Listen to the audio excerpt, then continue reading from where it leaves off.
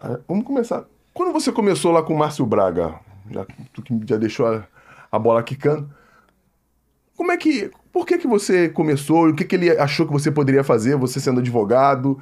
E a gente bateu um papo aqui, ele falou que ele é advogado fera, mas ele é melhor ainda tendo fazendo relacionamentos. Então, por onde você chegou no Flamengo? Eu iniciei pelo Flagávia, que é a prefeitura da Gávea, né? E essa história de relacionamento, eu não fiz Harvard não, mas lá tem um estudo que diz que 85% do resultado de vida né, profissional deve ser as relações. Eu sempre fui atento a isso, né? Eu gosto de abraçar e ser abraçado, eu gosto de gente. E o Márcio é um presidente assim muito popular, um presidente humano, e por lá eu comecei. E lá eu tive a oportunidade de ajudar muito a gestão do Márcio Braga. Porque as CNDs do Flamengo, o que, que são CNDs? Né? São certidões negativas que o clube precisa para receber as verbas públicas. E o Flamengo tinha um contrato com a Petrobras lá, lá naquela época e o Flamengo não recebia e com isso não pagava os jogadores.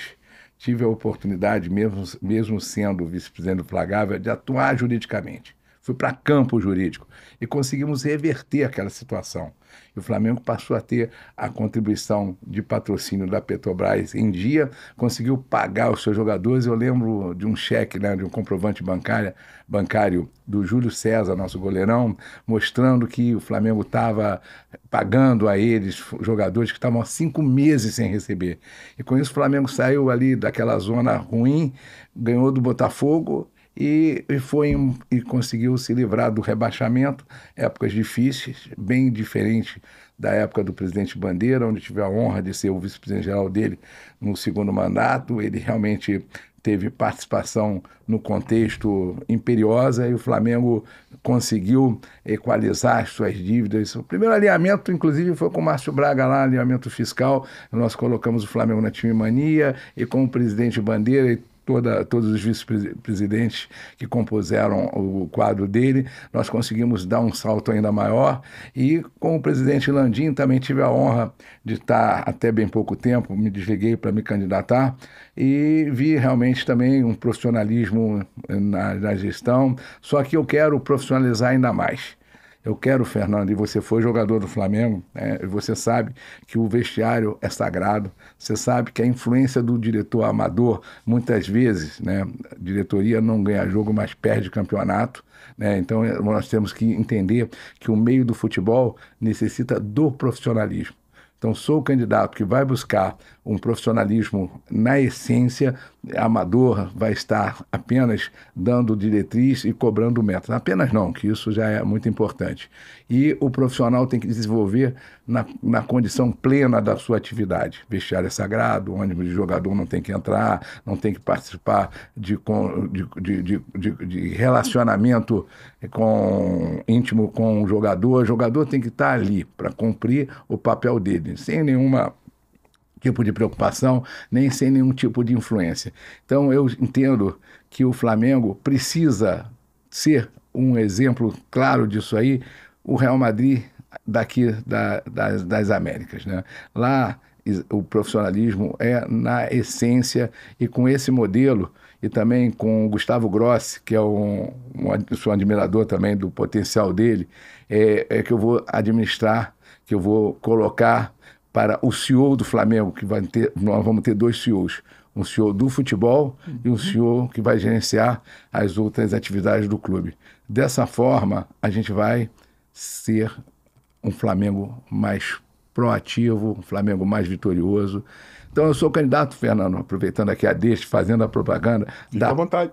pacificação e do profissionalismo. Quero os melhores para ter a condição do Flamengo ainda lugares melhores, maiores, é, resultados bem mais amplos, que eu tenho certeza que o profissionalismo traz a, o rigor da, da proteção para que você possa desenvolver a sua atividade com tranquilidade. E só para devolver a bola, é, eu, nessas minhas andanças de 22 anos, de tudo, né, de, de Flamengo, de, de futebol, é, de esportes olímpicos, eu entendo que a necessidade da, da preparação mental ela é muito, muito significativa.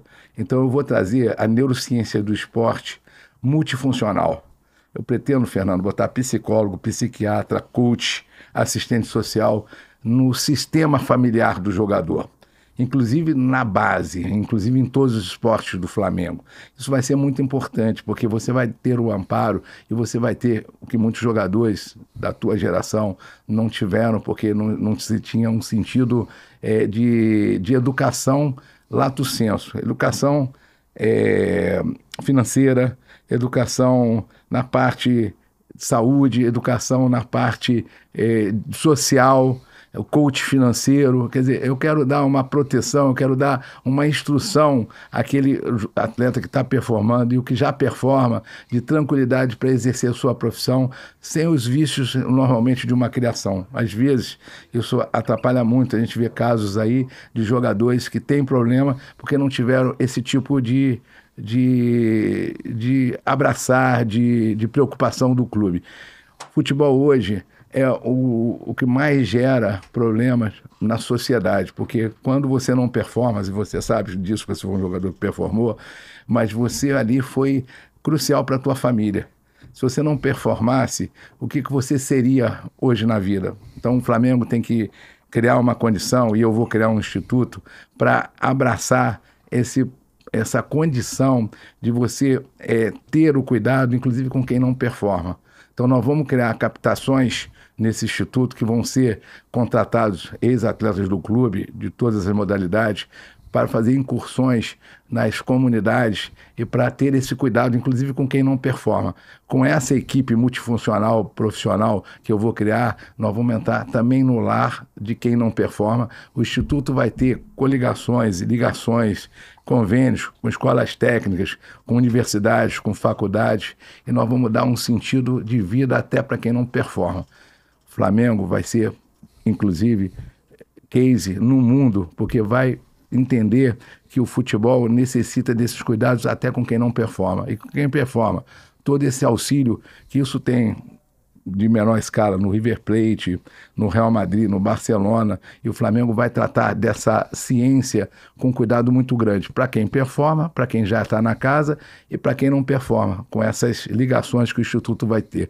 E o Instituto ele vai ser ligado ao Flamengo, vai ser o Instituto Rubro Negro, o nome do Instituto vai ser Instituto Rubro Negro, e o presidente do Flamengo vai indicar o presidente do Instituto, todos profissionais, e essa, essa captação é, vai vir de uma forma natural e o dinheiro para esse instituto vai ser custo zero para o Flamengo, porque nós vamos ter verbas incentivadas e verbas de empresa. Recentemente estive na Adidas e a Adidas se mostrou assim muito impressionada com, esse, com essa criação que o Flamengo vai ter de ser clube cidadão, de buscar jogar também fora de campo, com os seus jogadores, com os que performam, com os que não performam e com a nação de um modo geral. Cara, pô, tu foi fundo pra caramba agora, por quê? Porque isso é um problema vivido no futebol desde sempre. Isso eu tô falando porque não é porque me contaram, não. É porque eu sei, até pelo relacionamento que eu tenho com os meus amigos.